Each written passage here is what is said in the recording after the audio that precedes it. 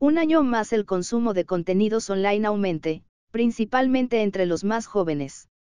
Las empresas de streaming radio hosting y televisión hosting lo confirman, los usuarios pasan más tiempo visualizando vídeos en sus móviles y los anunciantes ya están tomando buena nota de ello, la publicidad en medios tradicionales baja significativamente.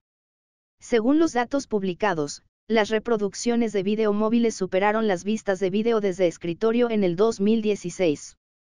Actualmente las vistas móviles representan una cuota del 52%, se prevé por lo tanto, que el video móvil se apodere de otro 16% de cuota en los próximos 18 meses, con una tasa de crecimiento del 44%. Siguiendo esta línea, el informe asterisco publicado el pasado diciembre del 2016 por www.usastreams.com un 58% de los usuarios visualizan videos cortos, inferiores a 5 minutos, al menos una vez al día. Un 36% asegura ver los vídeos de larga duración, superiores a 5 minutos, íntegramente.